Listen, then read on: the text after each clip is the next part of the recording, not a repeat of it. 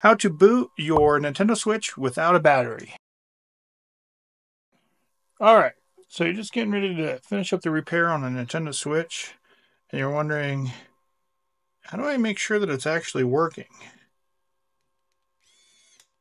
What happened if the battery is dead? I want to be able to boot this, and the battery is dead. Well, luckily, in comes the Switch Boot version 1. This is by CircuitMan. And all you need really is this guy.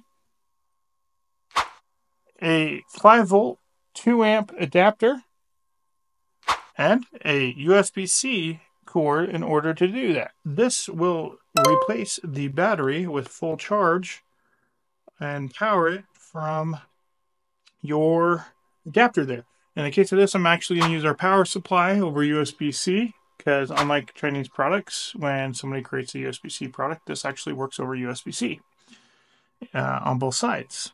So what we want to do then is we want to plug this in. Again, this is from CircuitMan. Links down in the description where to buy it. It's about $31, a few dollars for shipping. Uh, you get it plugged in. You're going to go ahead and uh, power it up we actually need to plug the FPC connector in too so we can actually power it. But we just did the repair on this switch and we want to give it a test.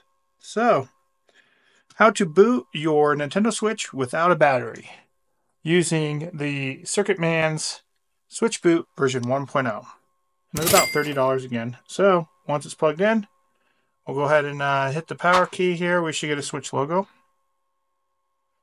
or Nintendo logo. And there we go. That's our Nintendo logo. There's our Switch logo. Let's make sure that she's going to power all the way on. And there she is. Fully booted, full power. And that's how you boot a Nintendo Switch with just a DC power supply and the CircuitMan's tool. Or you can use, again, a 5 volt, 2 amp power adapter to do that. And that's it for this. Again, links in the description below. I do recommend it if you repair more than one or two switches a month. It will save you a lot of time and hassle.